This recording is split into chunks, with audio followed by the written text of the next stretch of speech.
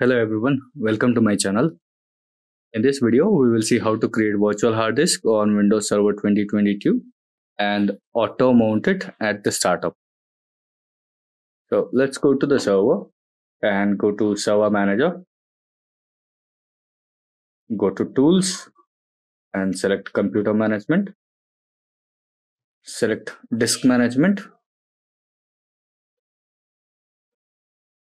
and click on more action in the right hand side. Click on create VHD. Click on browse.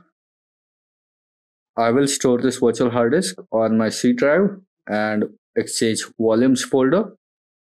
So let's create a new folder here and call it VHDX. Let's name this virtual hard disk as DB01 and click on save let's select GB here and I'm going to give 50 GB of space for this hard disk and I will select VHDX as a format and I will also leave dynamically expanding as a virtual hard disk type.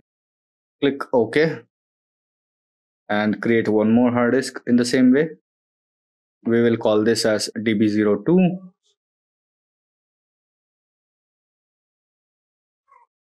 As you see, both the hard disk have been mounted.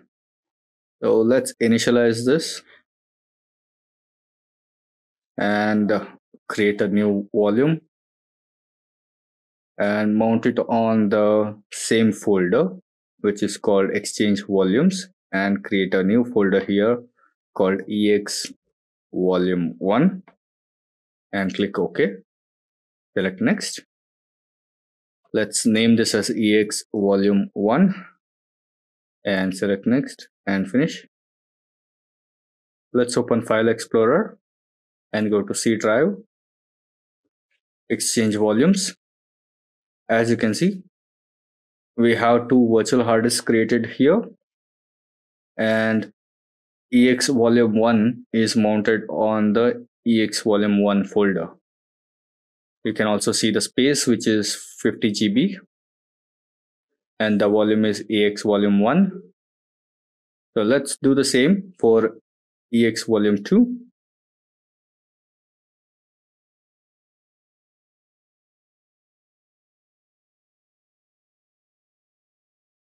As you can see, we have created two virtual hard disks in the C drive and we have also mounted this virtual hard disk on these folders.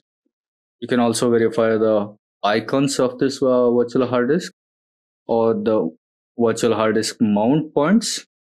Let's restart the system and come back once it is restarted.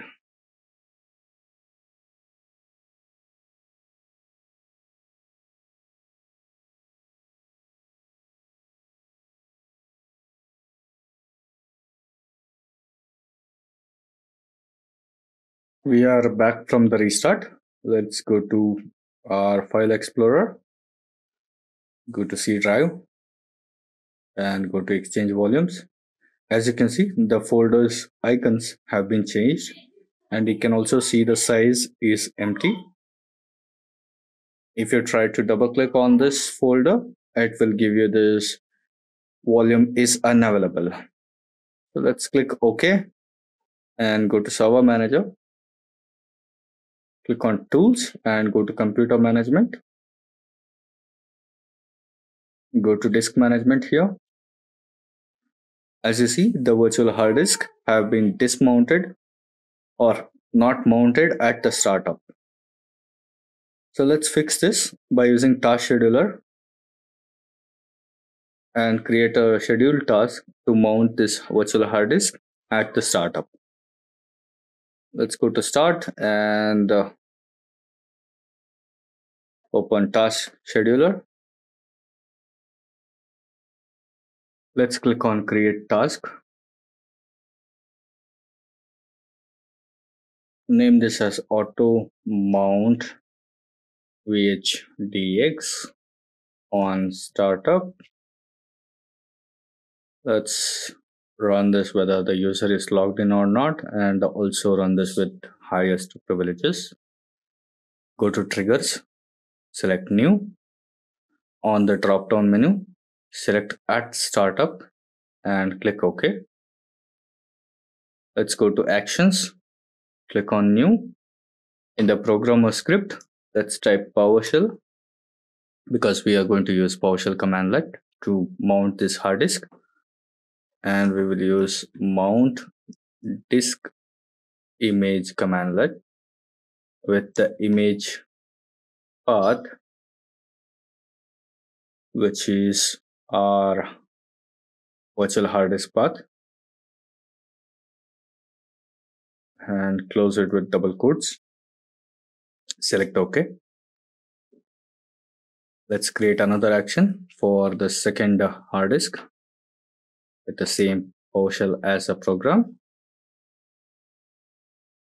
And the same uh, mount disk image commandlet with the image path parameter. And we will just change the name to db02 which is the full path for the second virtual hard disk. Select ok. Once you have this verified click ok and provide the credentials Let's go back to our computer management. As you see, we do not have any virtual hard disk mounted now. We will run this task manually just to test it. As you see, the virtual hard disk have been attached and you can also verify the same on the folders here. This is working as expected. Let's restart the system and see if it is actually starting at the startup.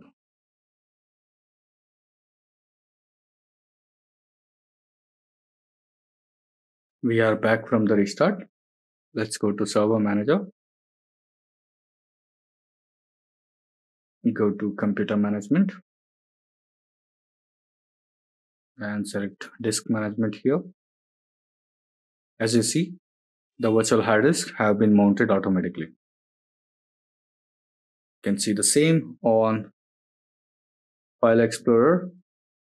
The virtual hard disk have been mounted on this particular folders. So that's it for this video guys. I hope this was informative. See you on the next one.